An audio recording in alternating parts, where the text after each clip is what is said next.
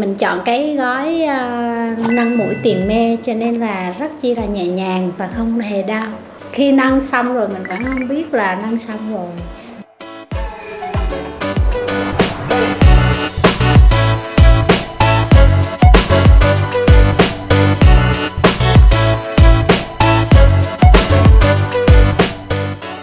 Chào mọi người, mình tên là Trung, mình đến từ Lâm Đồng. Mình nâng mũi cấu trúc có điểm chuẩn bị mở. Hôm nay được à, 7 ngày và mình đến trung tâm để tháo nẹp Mũi mình trước đây thì à, chưa có từng can thiệp, Nhưng mà do nó nó hơi thấp, với lại à, nói chung nó không có sống mũi.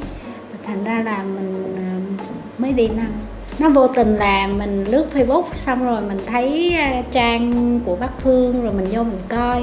À, nói chung mình cũng coi rất là nhiều trang rồi tham khảo cũng rất là nhiều tại vì mình lần đầu mình làm mình rất là sợ mình thấy bác phương mình theo dõi mình thấy cái dáng mũi bên bác phương làm rất là ok. Mình không thích mấy cái dáng mũi của mấy bên kia là làm cái đầu mũi nó hơi nhọn. Với lại mình không thích những cái trang mà người ta đăng nhưng mà người ta không có cho hiện bình luận đó là mình không có tin tưởng. Thành ra là à, mình chọn à, bên bác phương mình cũng mới theo dõi bác phương có ờ, chắc được ờ, hai tháng á.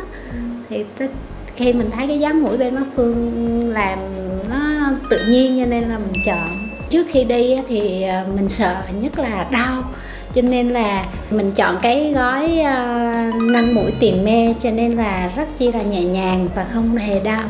Khi nâng xong rồi mình vẫn không biết là nâng xong rồi chỉ có cái là do cơ địa của mình là nó dễ bị bầm thôi chứ còn đau thì là nó không đau. Mặc dù mình chưa tháo nẹp nhưng mà bạn mình à, khi gặp mình nó vẫn nói là uh, khi mình nâng mũi là gò má nó sẽ bớt cao đi và à, cái dáng mũi chắc chắn là nó sẽ đẹp.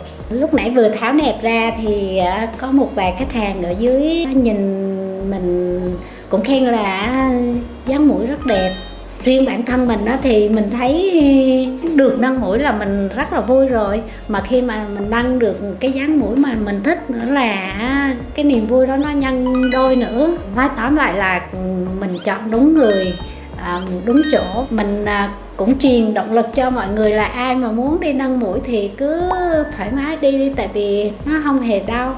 Cảm ơn mọi người đã lắng nghe chia sẻ của mình. Chào tạm biệt.